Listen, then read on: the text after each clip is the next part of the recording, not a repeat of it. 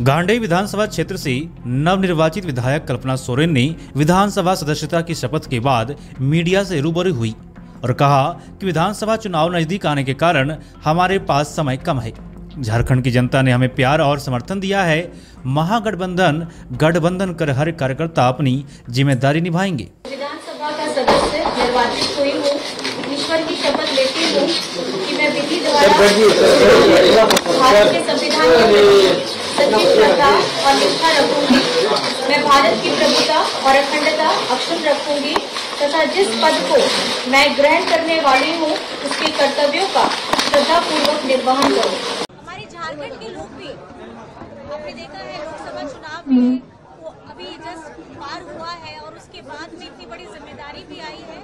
समय कम है लेकिन जितनी भी ज़िम्मेदारी बाकी है ऐसे तो पहले से ही कार्यकाल में बहुत अच्छे काम करते हुए आ रहे थे लेकिन अभी जो बच्चे कुछ काम है उसको मुझे पूरा करना है। समय कम है लेकिन मैं अपनी पूरी- तरह से अपनी मैं ज़िम्मेदारी लेकर के मैं आगे बढ़ने का एक बड़ी ज़िम्मेदारी झारखंड में आपको मिली हुई है। लोक लोकसभा चुनाव में आपने जिस तरह से प्रदर्शन किया और उसका रिज़ल्ट भी आया।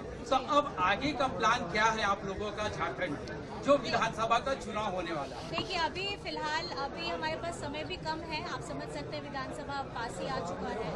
और कहीं ना कहीं मेरे साथ साथ बाकी जितने हम लोग, अपने गठबंधन के, महागठबंधन के लोग हैं, झामुमो के साथ, हम लोग सब अपने कर्तव्य पे अब आगे बढ़ चुके हैं क्योंकि लोकसभा के बाद, क्योंकि हमेशा होता आया है कि विधानसभा झारखंड में छः महीने के अंतराल में रहता है, लेकिन कोड ऑफ़ कंडक्ट भी लगेगा तो तीन से चार महीने ही बचे हुए हैं तो तीन से चार महीने में पार्टी के साथ में सबको मजबूती के साथ, और क्योंकि झारखंड की जनता ने अपार प्यार दिया है, स्नेह दिया है, आशीर्वाद दिया है ज़िम्मेदारी को आगे बढ़ाते हुए हम लोग पार्टी के सब महागठबंधन के हर एक कार्यकर्ता हर एक सिपाही हम लोग अपनी ज़िम्मेदारी बखूबी निभाएँगे। मैम जब आप शपथ ग्रहण ले रही थी और हेमंत जी जेल में है तो कैसा अंदर से आपको फील हो रहा था?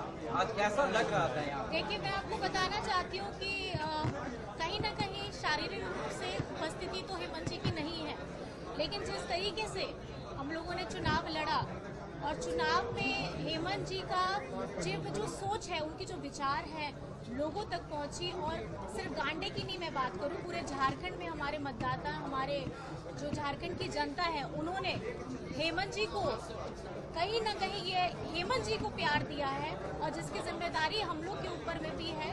और मैं चाहती हूँ कि सारी जनता, झारखंड की जनता अब हम लोग मिल करके अब जितना वक्त है, हमारे पास बचा है, अब कमर कसना है, पार्टी के लोग भी हैं और सब लोगों को मजबूती के साथ महागठबंधन को लेकर के आगे इसके साथ अन्य खबरों से जुड़े रहने के लिए कृपया चैनल को सब्सक्राइब, लाइक एवं शेयर अवश्य करें। धन्यवाद।